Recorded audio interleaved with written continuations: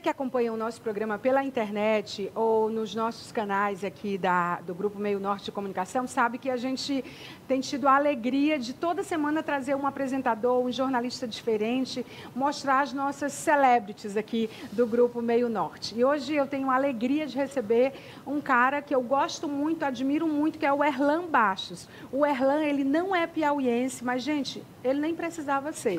Contanto que ele já veio, já trabalhou, já foi, já voltou. Sabe a Micarina Meio Norte, o vai e vem de tudo da Micarina que a gente fica falando? É o Erlan com o estado do Piauí. Atualmente ele, ele apresenta o programa da tarde na TV Meio Norte, né? diretor e editor-chefe. Ele tem uma experiência muito grande com o digital, que ele acabou se somando a esse time que abriu uma nova frente digital no Grupo Meio Norte de Comunicação, inclusive com metas e projetos nacionais que são absolutamente ousados, mas ousadia você já sabe que é a nossa cara. E aí a gente convidou o Erlan para bater um papo com a gente sobre como foi que nasceu esse Erlan e como é que a tecnologia e o digital se apaixonou por você assim perdidamente. Bem-vindo ao nosso programa. Obrigado, Maia. Prazer demais estar aqui com você. Sou seu fã do seu trabalho, conheço totalmente a sua história. Para mim é uma honra estar aqui, de verdade. Erlan, você nasceu em Manaus. Isso, sou natural de Manaus, no Amazonas. É, e passei lá até, fiquei, trabalhei muito com jornalismo lá, de televisão, porque eu sempre fui apaixonado por televisão. Assim, eu ia para a porta de emissora para ver os programas de televisão. que legal. Eu perseguia repórter. Porque na minha cabeça... Adorei o perseguir. Eu persegui mesmo porque eu achava... Muito honesto. porque eu achava que se eu fosse... É, algum repórter poderia falar assim, não, ele pode me colocar como repórter também. Uhum. Isso com 9, 10 anos de idade. Então eu adorava viver esse mundo da televisão é, lá. Só que lá em Manaus é, é, é, uma cidade muito carente. Era, melhor dizendo, desenvolveu muito. Sim, Apesar de ter, de ter o polo industrial de Manaus, mas é uma cidade muito carente em diversos aspectos. E, só que eu nunca tinha achado uma oportunidade lá dentro. Só que eu atuei muito lá, na rede TV de lá, trabalhando de graça como repórter comunitário. Olha só, quem diria? E hoje é um milionário. Oh, gente. meu Deus, recebo, amei, recebo. E, então comecei a atuar como repórter lá em Manaus, comunitário de, de problemas de comunidade, etc., de forma gratuita, ao ponto de falar assim, nossa, vamos ver, vai que alguém acha esse menino que fala alguma coisa, né, de bom. E eu lembro que o meu primeiro salário foi 500 reais. Eu fiquei, nossa, agora me achei e tal. Agora vai dar agora certo. Agora vai dar certo. e fiquei lá por, por um bastante tempo trabalhando como repórter comunitário. E de lá você alçou o voo para onde? Eu acho que o sonho de muita gente, até assistir pela televisão isso, era que as oportunidades estão no eixo Rio-São Paulo, em especial Sim. São Paulo. E aí eu comprei uma passagem aérea para o Rio de Janeiro. Só de ida. Só de ida, com muitos sonhos. E que eu falei assim, não, eu vou para São Paulo para tentar minha vida, para ver que eu acho que é lá que eu vou achar. E aí eu fui para o Rio de Janeiro, porque a passagem estava mais barata para o Rio, então eu desci de ônibus para São Paulo. Assim que eu cheguei em São Paulo, no Rio Tietê, fui assaltado levaram tudo, levaram meus documentos, levaram tudo, o destino tudo. te fiquei... testando. É, São Paulo disse, seja bem-vindo, foi tipo isso. e aí eu fiquei com a roupa do corpo, apenas. É... eu fiquei tão atordoado nesse momento, porque eu via muita criminalidade de São Paulo pela televisão. Quando você é vítima, é. você fica atordoado. Eu fui procurar uma... uma é tipo um... Não é quiosque de polícia? Sim, uma guarita sim, de polícia. Sim. Falei, olha, fui assaltado, não sei o que. A polícia falou, ah, você deve ser o vigésimo hoje. É, Cuidado por aí. Entrou para a estatística. Bem-vindo a São Paulo. Foi tipo isso, lute. tá nem aí e tal. E eu fiquei zonzo, sem saber o que fazer. Eu, eu falo para minha mãe, mas como eu vou falar com a minha mãe? Minha mãe tinha, né, tem um problema de, de coração. Sim. Falei assim, mãe, fui assaltado, estou na rua.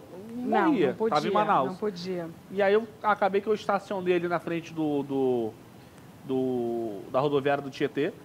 E algumas pessoas vieram falar comigo, moradores de rua, perguntando o que tinha acontecido. E eu falei, não, fui assaltado. Ele falou, ô oh, meu amigo, é que acontece sempre. Se você passar a noite aqui com a gente, e eles faziam uma fogueirinha, né? Assim, e foi lá que você ficou? Foi lá, passei três meses, hum. quase quatro meses, morando lá no, no, debaixo daquele viaduto do, do Rio Tietê. Por quatro meses. Gente, mas isso foi uma escola daquelas assim, hard work, né? Quando criança, eu, eu passei fome, catava latim e tal, mas uma coisa é você ter uma vida difícil é. quando criança, outra coisa é você, na vida adulta, estar pior do que criança. Porque naquela época a gente passava fome, tipo assim, a gente almoçava, mas a gente não jantava. Ou a gente só almoçava. E eu saía para ficar catando latinha para conseguir o dinheiro justamente do, do, nosso almoço. Já na fase adulta, você ficar numa situação onde você é. não come, onde você não sabe se vai acordar vivo. Porque naquela época que eu morei na rua, tinha muita gente tacando gasolina em morador de rua e tacando fogo, por pura maldade. Então, é, foi uma situação muito mais difícil, mas foi uma escola que eu levo para toda a minha vida. É, toda vez que eu vejo dizer, repor, reportagem, é reportagem de pessoal morando de rua, eu começo a chorar, porque eu lembro do que aconteceu. É, eu achei muito mais dignidade debaixo de uma ponte do que em muito apartamento de luxo que eu já fui. Porque lá eles são unidos. Eu lembro que a gente, quando dava assim mais ou menos perto da hora do almoço, tinha uma lanchonete do outro lado da rua e eu via sempre o pessoal comendo. É, um salgadinho e tal. Aí eu ficava torcendo, porque eles comiam o salgadinho, a coxinha, para eles deixarem aquela massa do fundo do, da coxinha, para que se eles jogassem no lixo, eu conseguisse pegar aquela massa, porque tem gente que só come a parte de cima. Daí eu ficava olhando, meu Deus, vai, deixa, deixa, deixa. Olhando tudo. Quando ele jogava, eu ia correr lá no lixo para pegar essa era massa. Era banquete para você. Nossa, era... Quantos anos já de comunicação? Olha, eu comecei com eu comecei com 16, mentindo a minha idade, não na Rede TV. Hoje estou com 30, então tem, tem bastante tempo aí, é. quase. Então você começou aos 16 anos 16 na Rede TV depois isso. desse perrengue todo? Isso. Ah, foi antes do perrengue. É, porque foi você em Manaus, foi em Manaus. Isso, foi em Manaus. Aí você foi para lá tentar. E aí, qual foi o teu primeiro trabalho em São Paulo, na área de comunicação? Eu não cheguei o que a que você fez? Não lá? cheguei a trabalhar em nenhuma emissora. Não consegui espaço em nenhum lugar.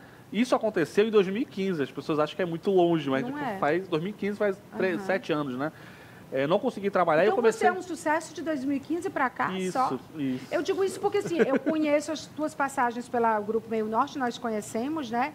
Mas você teve passagens pra, em outros estados, em outros veículos, que foi também um furacão. Isso. Eu estava eu tava em São Paulo, eu comecei a fazer é, vídeos para a internet. É, entrevistando memes, um quadrozinho de fofoca, mas uma coisa muito amadora, muito simples. É, só que aí, como não dava resultado, eu consegui, depois que eu passei esse período na rua, eu voltei para Manaus, tive que contar, a minha mãe ficou sabendo, nossa, esqueci de falar isso, ficou sabendo pelo jornal que eu estava morando, morando na, rua. na rua. Por quê? Eu não tinha falado com o bendito policial. Sim. O bendito policial foi lá e falou pro Léo Dias. Ei, Léo Dias, tem um jornalista que o tá Léo morando... Dias é aquele seu amigo, best Isso, friend? Isso, demais. tem um jornalista que está morando na rua. Aí a manchete do Léo foi esse. Jornalista tenta a vida em São Paulo e mora na rua. Aí, Aí o jornal de lá, de Manaus, estampou a minha foto na capa com essa manchete e minha mãe ficou sabendo Foi o teu primeiro jornal. contato com o Léo Dias. De lá pra cá vocês não infeliz. se largaram mais. É, infeliz contato. Mal sabia ele a dor de cabeça que eu daria no futuro para ele.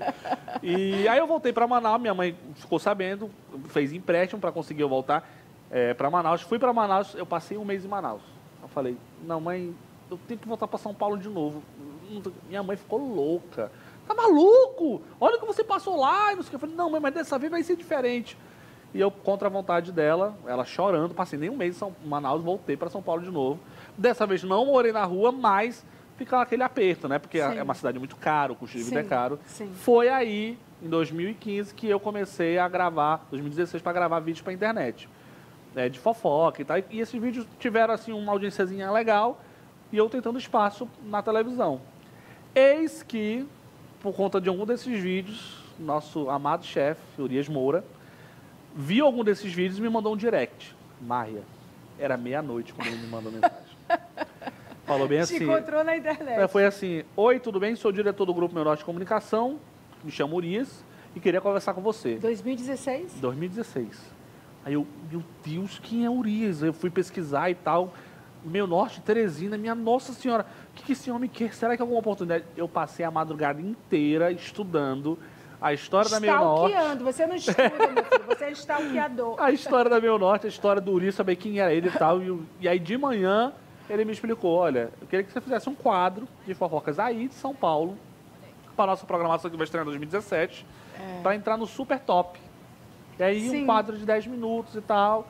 Aí eu, claro, aceito, óbvio. E foi assim que você estreou aqui. Foi assim que eu estreiei. Foi a primeira vez que eu participei de uma grande emissora, porque a Rede TV lá era bem, bem, bem, bem, bem pequena. Engraçado que foi a Meio Norte que fez você ir para outras emissoras grandes, isso, né? De repercussão isso, também, né? Isso. Porque depois disso você já fez programas diferentes, isso. né? É porque tem gente que tem a impressão que eu, eu, eu trabalhei em outras emissoras grandes e depois vim para cá. Não, na Só verdade que eu acendi, aqui. eu acendi aqui. Uhum. Cheguei, eu fiz esse quadro em 2017 Aí, em 2018, é, a gente parou esse quadro.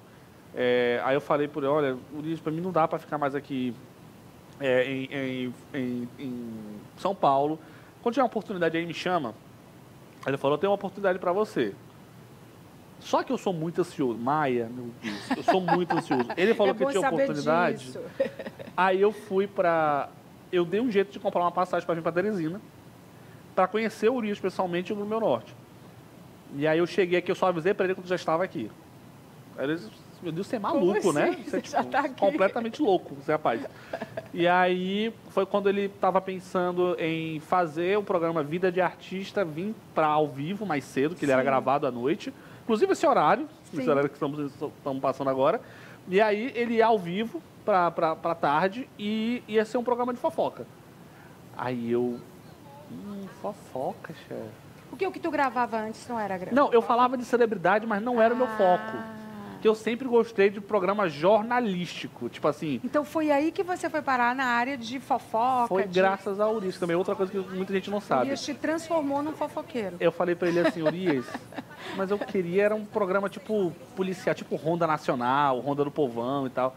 Aí ele falou assim... Não é o seu perfil, ele tem feeling. Tu é muito fofinho. Tua cara é muito fofinho. Lembro direitinho ele falando minha bochecha, que eu tava mais gordinho, né? Tu é muito fofinho pra programa policial. Vai pro entretenimento. Aí eu... ó, Cara, deu super certo. já tô hein? aqui, né? É a oportunidade da minha vida, então vou abraçar. E fui pro entretenimento. Rapaz, eu virei Estourou. o terror hoje dos famosos por É, porque você começou. Mas você depois foi, trabalhou em Fortaleza, né? Isso, eu passei aqui um, dois anos aqui apresentando vida de artista. Graças a Deus, por conta das pautas exclusivas que a gente estava aqui, o programa começou a ter uma repercussão nacional inacreditável. É, muito É, potente, Meio foi muito grande, muito grande. E aí eu recebi uma proposta para apresentar o Balanço Geral de pois Fortaleza. é, aí você foi fazer o policial que você que eu queria tanto fazer queria. aqui. Aí eu cheguei por, por- é, Eu lembro que nesse dia que eu fui falar para ele, que eu recebi essa proposta. Eu já tinha recebido outras propostas. Eu tinha recebido proposta para ir para São Paulo, para ir para Rede TV, para ir para SBT. E todas eu tinha recusado. Porque aqui eu tinha liberdade para fazer o que eu queria. Sim. É óbvio, dentro do, do que pode fazer. E eu me sentia seguro, abraçado Sim. pelo grupo, sabe? Um grupo que me protegia. E aí eu cheguei para ele e falei, Urias, eu recebi uma proposta. Ele, eita, qual foi que você recusou agora? Porque já era tão comum, né? Sim. Eu falei, então, recebi uma proposta da, da Record de Fortaleza, do Ceará, para apresentar o balanço geral. Na hora que eu falei isso, ele já se tocou. Tipo, cara, era o que ele queria fazer Sim. antes. Aí, e qual foi a tua resposta? Eu falei, chefe, eu vou aceitar. Eu, vou, eu falei assim para ele, para ele não achar que eu tava fazendo leilão, né? Sim. Eu vou aceitar porque eu sempre tive o sonho de fazer isso, trabalhar dessa forma, trabalhar na televisão e trabalhar com isso. É, e lá tem Ibope, real time, ou seja, a gente sabe a audiência em tempo real. Então, meu sonho era trabalhar no- no- numa praça, que a gente chama de praça Que é, tivesse essa cidade, plataforma que, tivesse essa plataforma. permitisse o real time. E aí ele, olha, você tem certeza? Me convenceu, né? Fala que você está seguro, não sei o quê, pipipi. Eu falei, não, chefe, eu sou, assim, alucinado, apaixonado pela Meu Norte. E você Mas- ficou quanto tempo lá? Um ano e seis meses. Foi, foi assim, rápido, uma passagem Sim. rápida. E aí, aí eu falei para ele, mas por que, que tu tá aceitando? Eu falei, não, porque a proposta lá é assim, chefe. Falei para ele, eu vou ganhar tanto e o programa está em quinto lugar. Então, pior não vai ficar. o programa já tá ruim de audiência. Então, eu vou lá e vou ver o que que Mas foi boa a audiência de Foi, lá, a gente né? bateu a Globo. É. A gente ficou na Foi liderança. O Foi que eu assim. sei é que deu muito certo. E eu lembro que quando eu fui, o Urias me chamou no RH, que o, o Urias nem vai no RH, ele fica na sala dele, você sabe, né? Mas ele tava, é o próprio RH. É, mas ele tava lá no RH e falou aqui, olha aqui, ó, eu vou te dar é, esse dinheiro para tu começar a tua vida lá. Ele me deu 10 mil reais para eu começar a minha vida lá. Eu tô até chorando lembrando disso. Foi aí que eu chorei.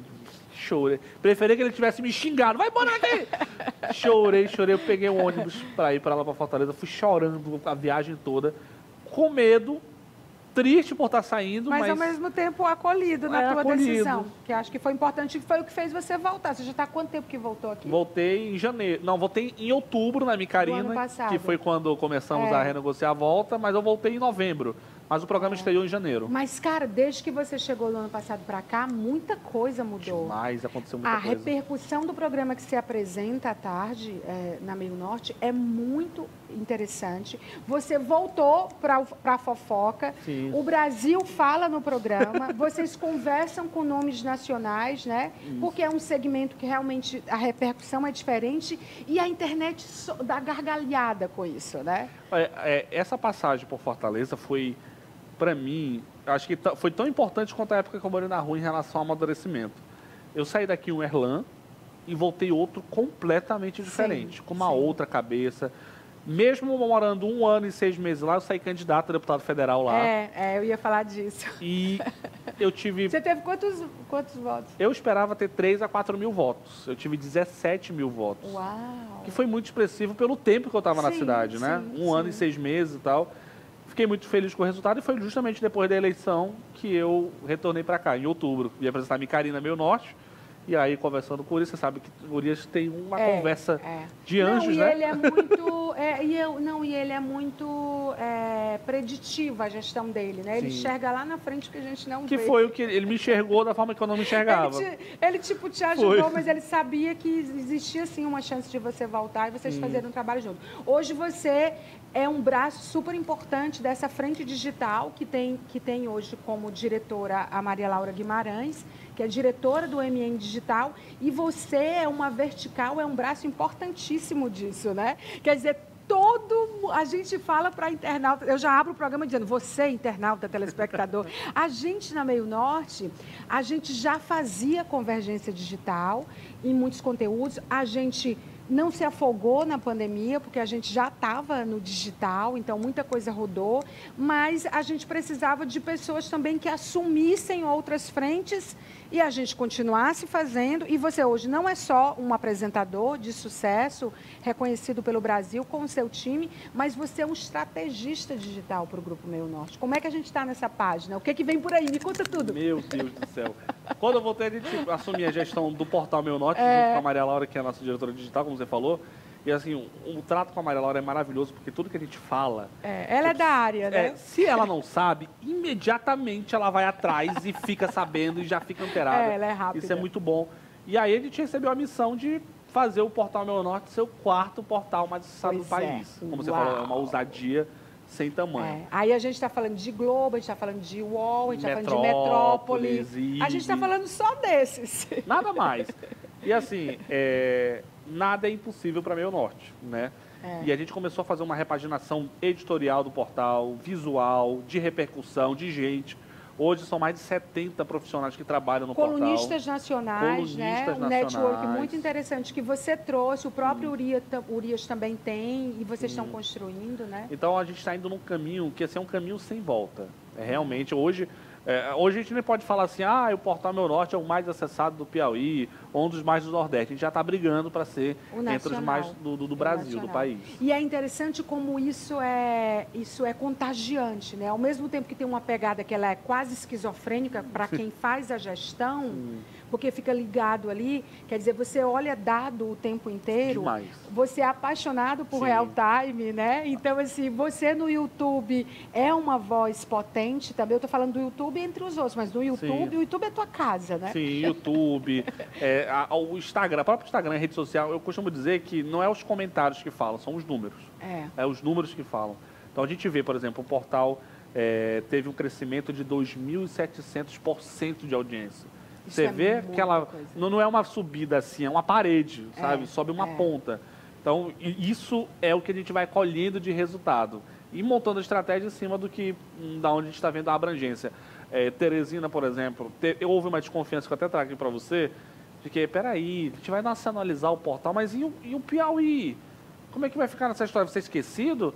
E aí passaram-se três meses, a audiência do Piauí aumentou demais, porque a pessoa acessava é, procurava o UOL, procurava Metrópole, hoje no próprio Meio Norte eles acham sim, tudo, o local sim. e o nacional. Sim. Por isso que a audiência no Piauí cresceu mais de 70%. E eu acho também que é, é para você que é um estrategista nessa área, é, muito provavelmente você tem encontrado na Meio Norte uma legitimidade que é a diversidade e a consistência Sim. do que é produzido de conteúdo. Cara, nós somos mais de 40 programas. Sim.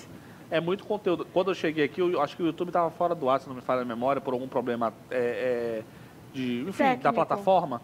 E aí eu falei, gente, não, bora fazer o seguinte, vamos colocar todos os programas ao vivo na plataforma, porque haja conteúdo e esse é, conteúdo não está é, não tá sendo, é. tá sendo bem utilizado na rede social. Bora! E aí foi um trabalho que a gente, eu lembro que a gente passou três noites sim, seguidas sim. mantendo a plataforma. E hoje o público acessa com muita facilidade o conteúdo, é. as entrevistas. Ah, estou saindo de casa acompanhar ao vivo. Então foi muito bacana, foi incrível. E a questão também da, da, da redefinição do que, que é relevância. Porque Sim. você, como é da área, é claro que você sabe que relevância ela é mensurada por curtidas, por seguidores, por engajamento, mas existe um, uma potência hoje que a internet trouxe, que é uma, um novo fluxo, né? uma, nova, uma nova forma de produzir as coisas que deu potência às pessoas. Porque antes a gente tinha uma vertical que era dos governos, das instituições, das pessoas que tinham muita audiência, que era uma lógica baseada no mercado, e hoje a gente tem uma horizontal que é um novo fluxo de informação que mudou tudo. Completamente. Hoje mesmo, no dia que a gente estava aqui gravando com você, viralizou uma pessoa que você já chamou para está eh, tá começando na empresa, na área de estágio, que você convidou para substituir uma outra pessoa que está de férias e viralizou. Isso é potência, entende? É verdade, sim. Então, assim, esse novo fluxo de, de poder e de potência, de evidência e influência, ele é muito apaixonante, né? Demais. E ele é muito democrático, não é? é? Hoje, eu costumo dizer que a televisão é o veículo de comunicação mais democrático que existe. É. Porque você fala aqui, você está entrando na, no apartamento de luxo, a casazinha de madeira. Ao mesmo tempo, sim, automático, sim. você falou, está no ar. E a rede social é um reflexo disso. Hoje, todo mundo também tem voz na rede social. Esse caso que você falou, aconteceu na semana passada do Wellington, é, foi uma coisa assim que causou uma comoção sem é, precedente nas é. pessoas.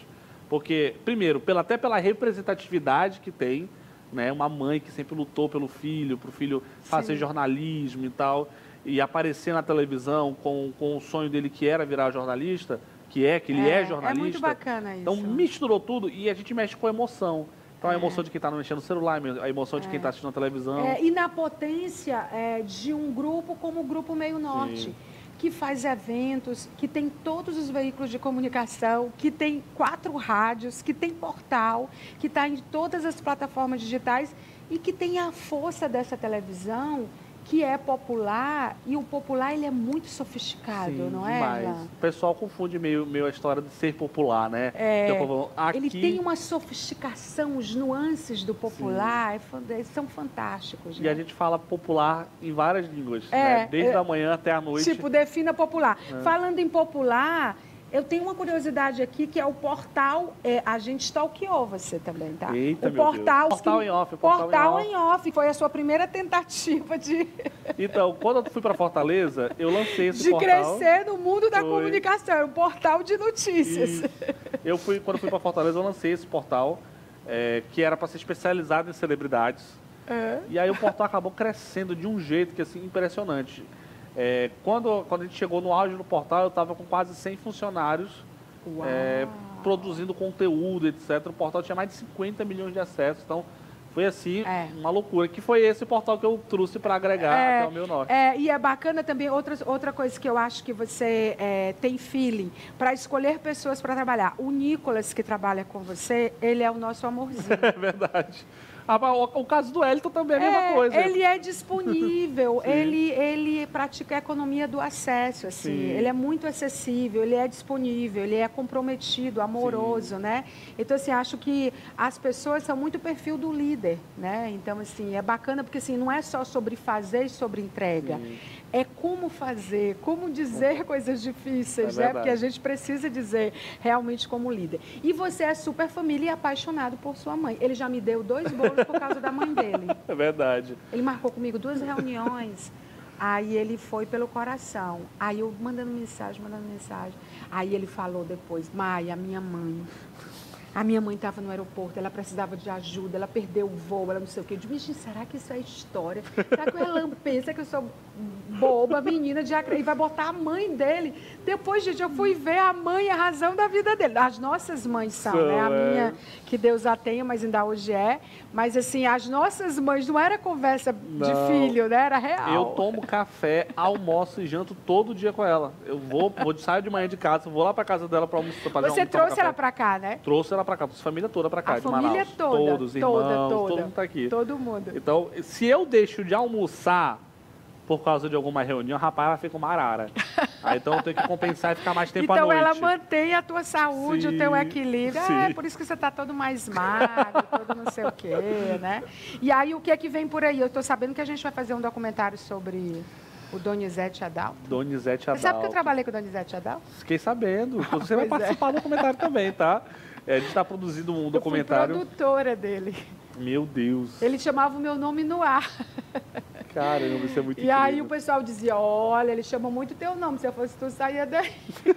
Porque ele é doido. Olha, é, esse documentário do Donizete Adalto é, é um, com um grande certeza, jornalista, viu? Um grande jornalista. Desde que eu, que eu, comecei a, a, olhar a história dele quando eu cheguei no Piauí, é, eu fui me apaixonando pela forma que ele fazia a televisão é. e pela história dele. É, é um personagem muito rico de histórias, né? Muito humano, muito Sim. inteligente, muito informado.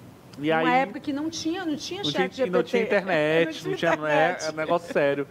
E aí, quando eu cheguei... Só que assim, ele acabou é, mexendo com muita gente poderosa. Sim. E aí, quando eu tive a ideia, eu falei, quer saber? Vamos fazer um documentário? Porque eu acho que fazer uma história do Donizete Adalto é uma reparação histórica até para o próprio Piauí. Porque ele lutou muito por esse estado, mesmo sendo chamado de forasteiro, vindo de outro estado. E, e aí eu rapaz, mas será que alguém vai. Será que a direção vai deixar? E aí, e quando tal. você propôs? Cheguei por isso, falei, chefe, vamos fazer essa história e tal. Na mesma hora, o Urias abraçou o, o, o, documentário, é. disse que realmente Urias deveríamos é fazer. É. E é uma coisa assim, a gente publicou um banner do, do documentário e a nossa não se falava é, em outra a coisa. Repercussão é gigantesca. Né? E olha que a gente nem lançou um trailer, nem nada, né? É. E, e assim, é, é um, um, documentário muito complexo de se fazer. Uhum. Só que, assim, a nossa marca é ser usado, né? a marca da Meu Norte é ser usada.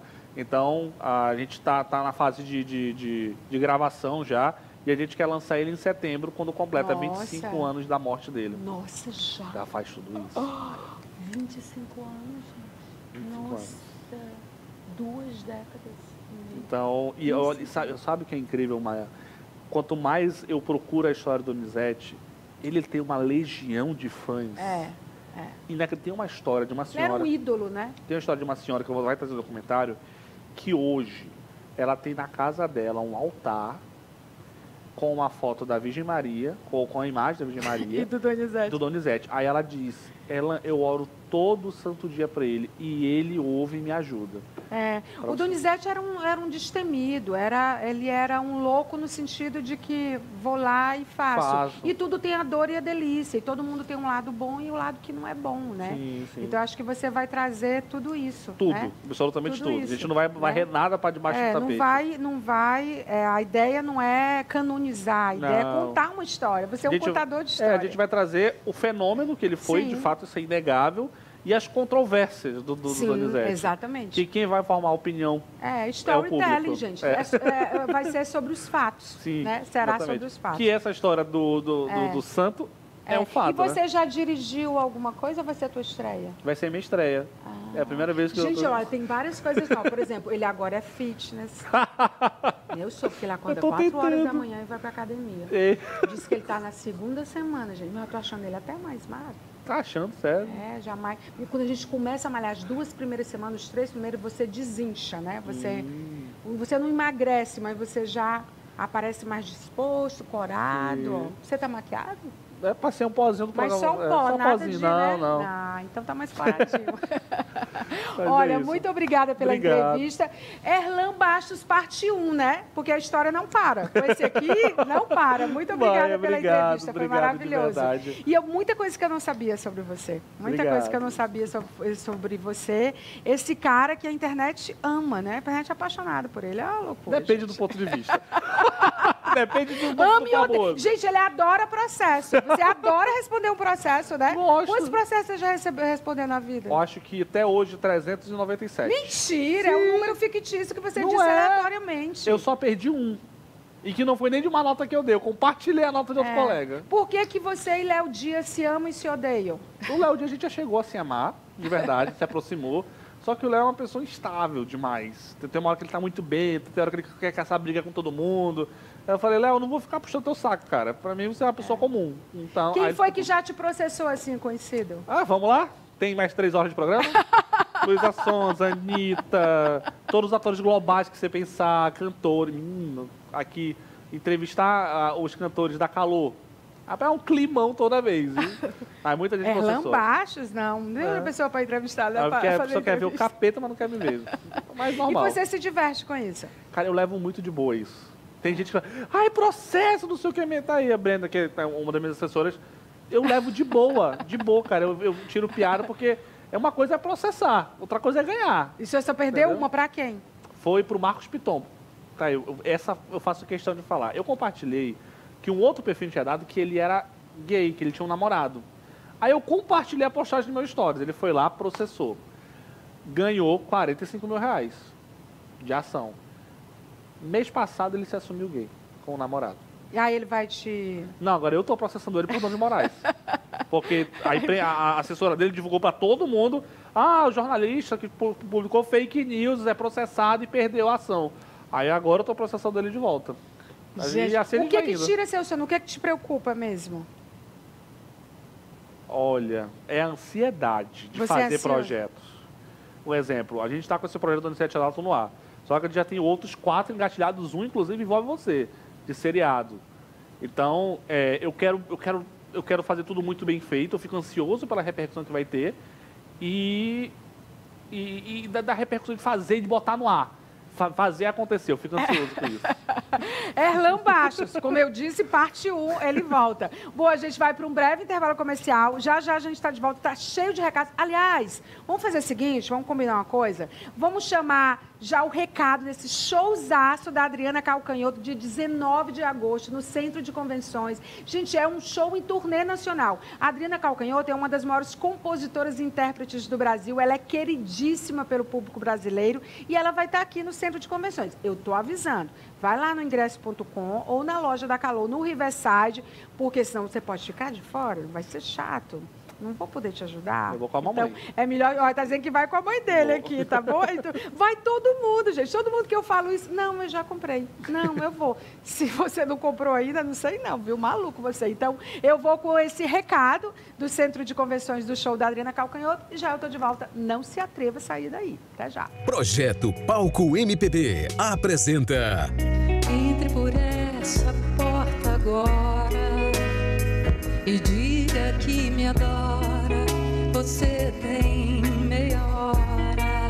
Adriana Calcanhoto com a turnê Errante. Ah, se eu fosse marinheiro, seria doce o meu lar. 19 de agosto no Centro de Convenções de Teresina. Uma das maiores cantoras e compositoras da música brasileira de volta a Teresina. Vendas na loja Calor Produções do Riverside ou no site ingresse.com.